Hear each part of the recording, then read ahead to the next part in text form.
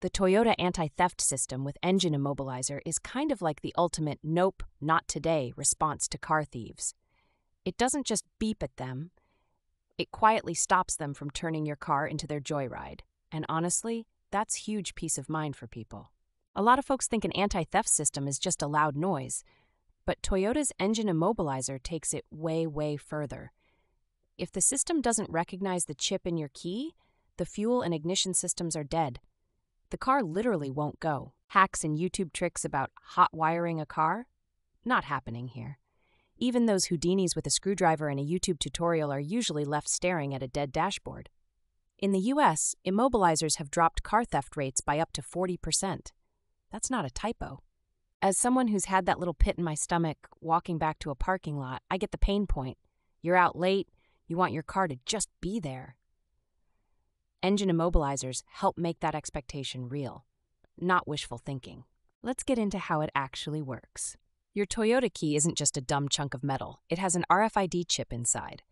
When you pop that key in, the car's system reads the chip's code. No match, no start. Simple as that. I have a friend who bought a used Camry, and the dealer only gave him a cheap copy key. Result? The car wouldn't start at all. That's the reality. No official coded key. No vroom vroom. Might sound annoying, but that's exactly what you want if a thief tries anything. There's even a dashboard indicator that lets you know the immobilizer is armed.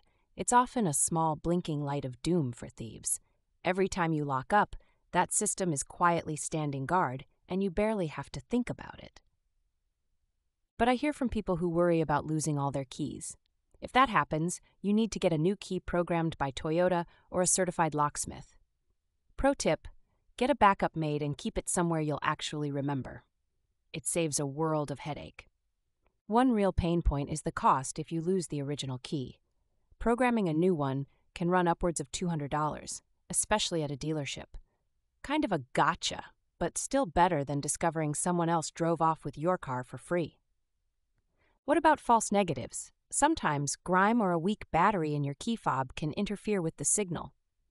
If the engine refuses to start, Try another key or move your key fob around the steering column.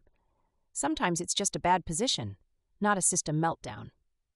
Key takeaway the system works quietly without that 1990s car alarm drama. If you're someone who values not having to file a police report before your morning coffee, it's a very solid feature. More peace of mind for just keeping your key handy.